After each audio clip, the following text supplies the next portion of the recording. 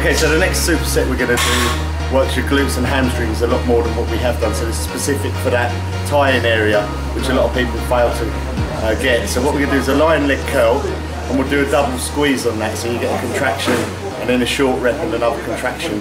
Um, and then we're going to do the glute machine, which really does target your glute and ham tie in the top part of your leg and where your butt comes in. So a lot of girls, especially in bikini, are judged on their glutes is a big part of it. So we're doing this today. It's the sort of thing Georgia works a lot. She's not used to one of these machines, so I'll be stronger than her. Um, Hopefully. yeah, hopefully. But how would you breathe on this? How would you? Is there any tips you could tell people? People always hold their breath, do it that wrong, that kind of thing. No, you can see people turning purple in the gym, it's never a good look.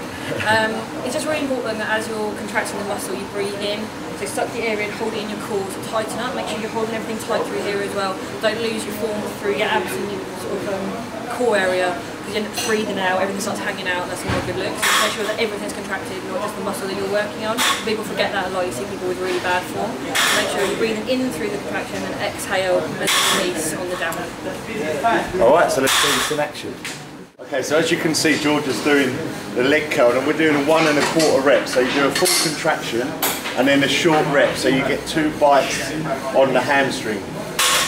Big mistake people here make is they just move the weight up and back down without any control. So this makes sure that the hamstrings are contracting every rep. So another huge mistake people make on this is their hips raise up. So as they bring the bar up, they bring their hips up, which makes it a lot easier for you to get the weight up. But it takes a lot of the strain off your hamstrings and you use your lower back, so it can cause backache, which obviously is a problem. But we're here to focus on training the hamstrings and therefore you need to keep your hips glued to the pad. So feel like you're pushing your hips into the pad as you bring your heels up. But Georgia's form's very good on this.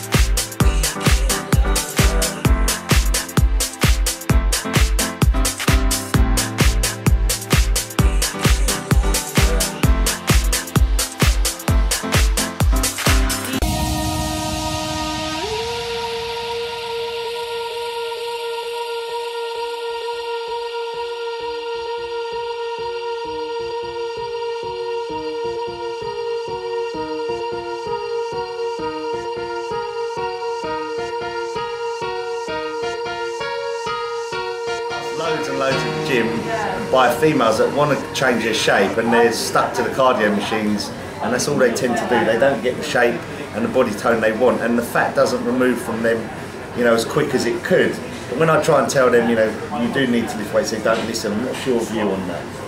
Um, I think a lot of women are sort of fed lies by their female fitness magazines saying, you know, go and run. And running is absolutely great, and I'm not taking anything away from that. Um, you know, it's good for your cardiovascular fitness. Um, you know, it's going to help you to lose body fat. You know, as an initial exercise routine because you're increasing your output, and if your input's staying the same, you will lose weight. What it's not doing is putting the muscle under any tension, you're not contracting the muscle while you're running, so therefore the muscle's not going to grow, which means you're not going to tone. So what you're going to be left with is what I call skinny fat, which is where you're basically slim, but you're not toned. Um, in order to tone a muscle, you need to tear that muscle, which means you need to lift weight, and you need to contract that muscle, which again means you need to lift weight. I'm not talking massive, you know, 50 kilogram weights like bodybuilders are lifting. I'm just talking, you know, medium-sized weights that are a little bit of a challenge for you so you can actually tone up, otherwise you're just never going to achieve the look that you want. Questions from guys and girls wanting to know how do I become a personal trainer? So what would your advice be to them? Um, well, obviously you have to go through the, the, sort of the courses, and you have to find a course that's sort of recognised. I would choose one of the main courses like the YMCA or Premier because they're known nationwide and internationally. Um, and you know, they're fair amount of money, so it's got to be something you really want to do. So the job's something that you love doing. Um, and then to be honest, because I've got personal trainers that work for me at Krunch Gym, um, the easiest way to get a client base is to actually work in a gym as a gym instructor. If you freelance and just try and find people off the street advertising magazines, it's very, very hard for you to, to build up enough of a client base to make a living from it. So if you do a few hours, even voluntary hours in the gym, you've got a database of maybe a thousand members that the gym has they'll, they'll see you working there every day and you can get chatting to and that's the easiest way to pick up clients.